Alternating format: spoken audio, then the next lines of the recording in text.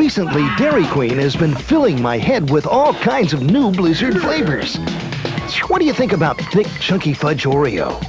Crunchy cappuccino Heath? Or creamy mint M&Ms, now on sale from just $1.39. And how about those other Blizzard flavors? Mm-hmm. I can't wait to dig in. And they're on sale now from just $1.39.